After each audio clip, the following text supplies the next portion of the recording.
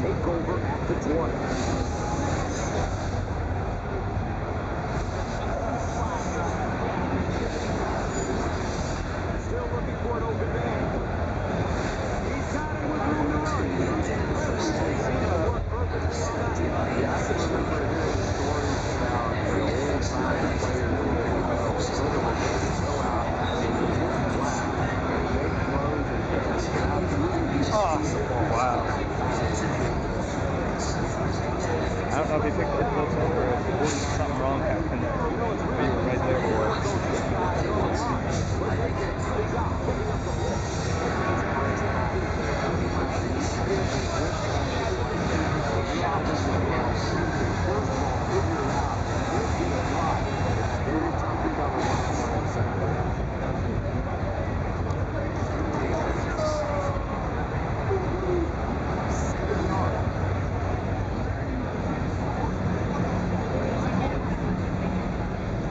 down and they're going to need just about three yards to pick up the first.